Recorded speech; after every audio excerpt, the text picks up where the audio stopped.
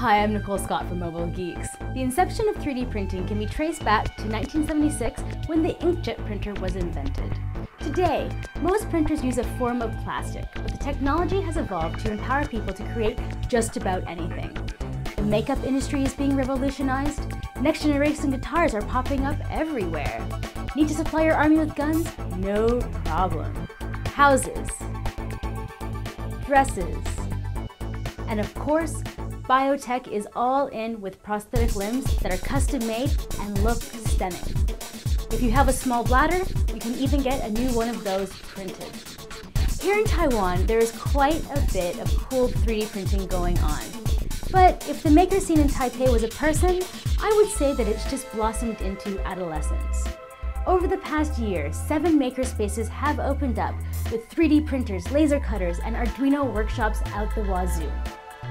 But with Taiwan's heavy investments in all levels of hardware innovation, I love that Stu came across Long X Long, a local company that has printed a 3D dress and we're showing it off at the Maker Faire here in Taipei. Hi there, this is Stu from Mobile Geeks, and today is a very special day because the Maker Faire has come to our backyard. It's here in Taipei, Taiwan. So what can I tell you except be a maker right here, right now.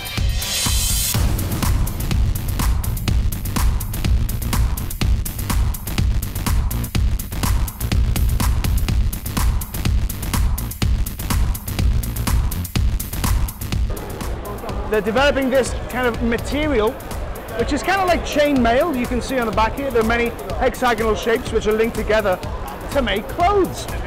Uh, right now, actually it's not that comfortable. You can kind of see that if you had this against your skin, it probably wouldn't feel that great. But the idea is eventually, this is just a prototype, to make uh, 3D printable clothing. An example of which we have right here.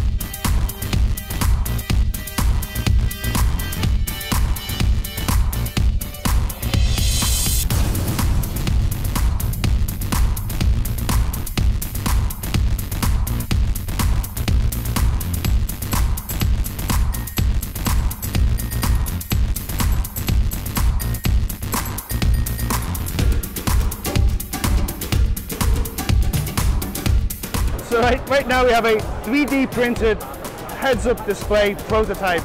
So right now I, I, can see in my, my right eye, I can see uh, a number. I can actually change the uh, brightness of the screen. Oh, this guy right here. Oh yeah, see, you can see it's, the display is getting brighter. But the idea is that if I'm on my scooter or my bike, or if I'm Iron Man and I'm flying through the air, I can see a reading of uh, my motion so I can see how fast I'm going. So basically it's a motion sensor built into this heads-up display. It's a prototype, but it's kind of interesting.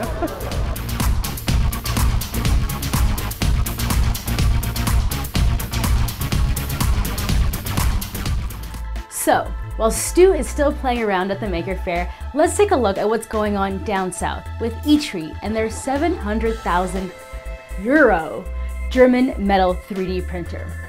That might sound a little bit expensive, but consider how much it costs to use a tailor-made cast or precision machine techniques. 3D printers in many cases are faster and cheaper as they build objects from successive layers of metal powder. Right now, the primary use of metal printers lies in medical, dental, and aerospace industries for both prototyping and manufacturing. The method we're seeing here is selective laser melting. The machine takes metal powder and uses a high efficiency laser to melt it into a design. Once it's gone over the pattern once, the machine moves the plate down and a fine layer of metal powder is pushed over it, and the process starts all over again.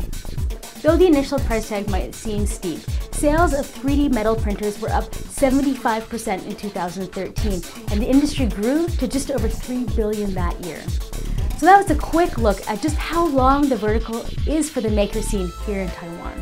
If you liked this video and would like to see more, be sure to subscribe to our channel. I'm your host Nicole Scott for Mobile Geeks.